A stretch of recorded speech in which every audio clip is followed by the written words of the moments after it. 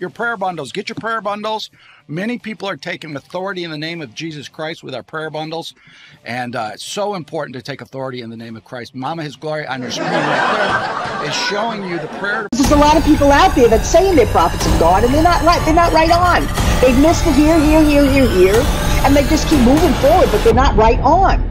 Hello and welcome everyone. Uh, this video here was supposed to have been just a quick little video about uh, Pastor Dave here and uh, something he said on Twitter, and I was gonna go into it just something short and sweet, but I've been led a different way, and I'm not sure if this will even get out there with you know people being banned for covering this type of thing.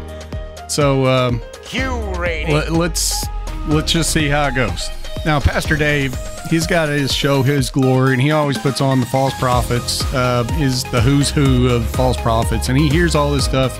He sees it not coming to pass, and he, and he still goes with it because maybe monetization. We'll see that here in a second. But I mean, he's got people like uh, the Bo Baloney, he's got uh, the Whoosh Dude, he's got uh, Julie Green, uh, all caps.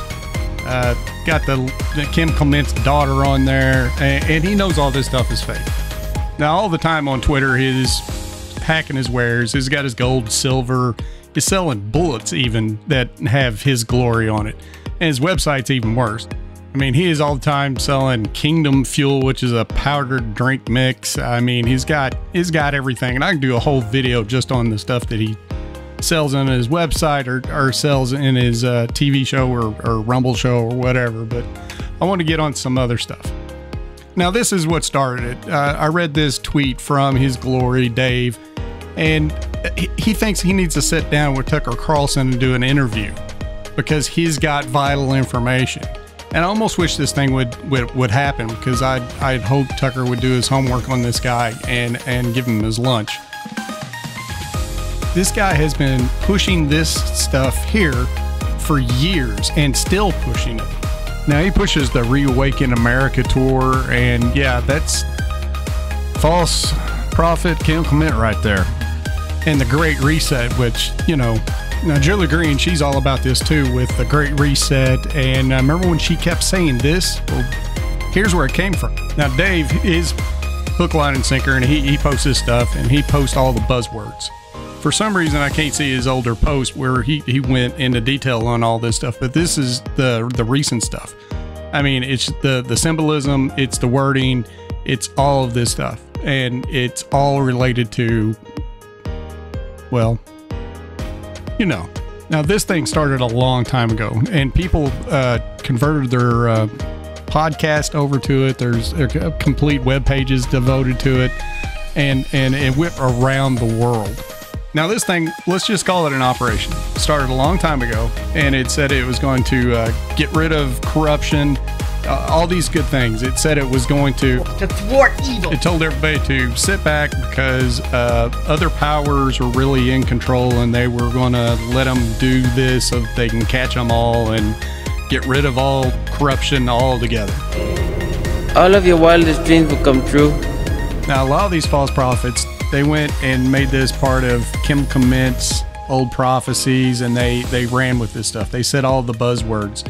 They went into to all this stuff thinking that uh, they could latch onto this, and uh, as we'll see, they it, uh, once again it's false, and we'll get to that in a minute.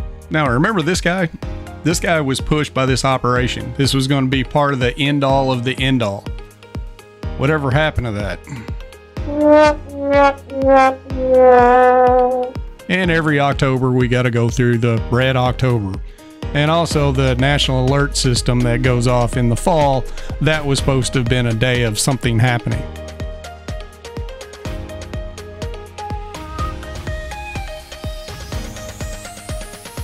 God, judgment is coming in 2020. Tells you to stand at the ready in 2020. Biblical times, biblical, buckle up, buckle up. Rain coming, bring the pain. Be ready. Next few weeks, wait is over.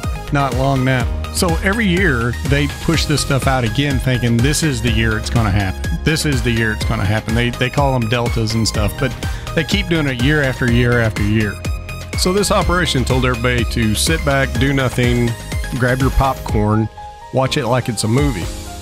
But uh, remember when Julie Green and all the false prophets were saying that this was going to happen?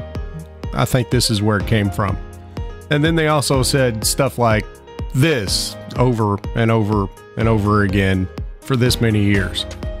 And then we also got the, you know, this little catchphrase. But whose plan was it? What was the plan? Did that plan go through? Because I haven't seen it. And somebody might have some information on plans. Now, I could go on and on and correlate what was said by this operation and the false prophets and how they seemed like they were all working together somehow.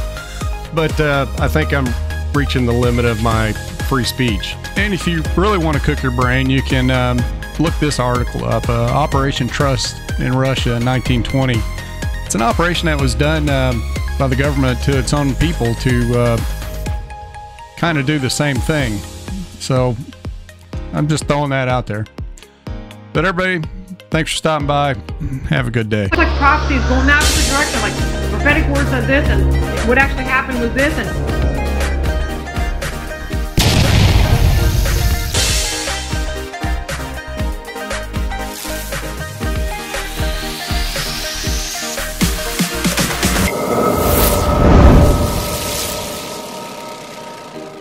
evil's going to be thwarted that day, but they're going to be thwarted that day.